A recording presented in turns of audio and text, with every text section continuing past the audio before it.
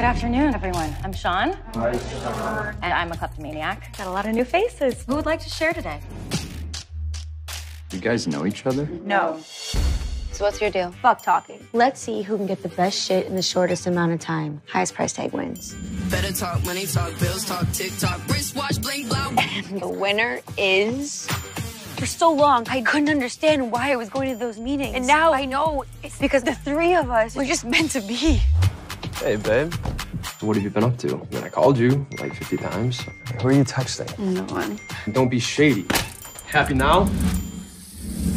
Your mom getting stuck with the night shift is really working out in my favor. Mm, so we're clear. I know, my dirty little secret. Did you know they were going together? He's moving on, so am I.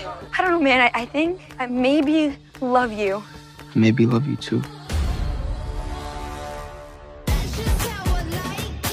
You a fan? Huge fan. Good, because I really need a groupie. I'm sure you have a million. You can never have too many.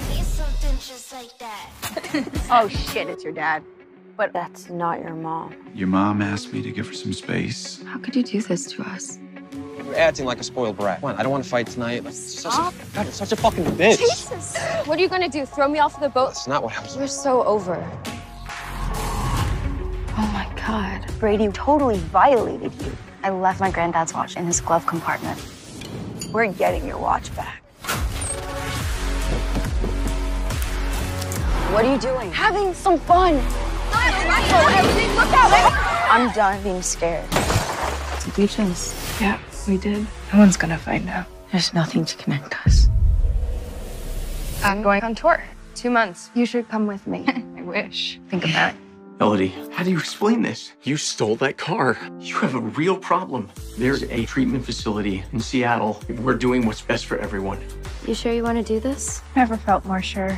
Thanks for saving me. I love you guys. You better keep her safe for us. Are you kidding me? She's keeping me safe.